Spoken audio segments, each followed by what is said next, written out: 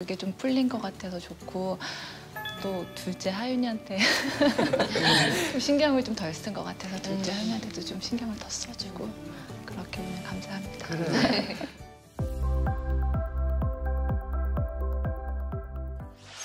여기에 무엇이 더 필요하십니까?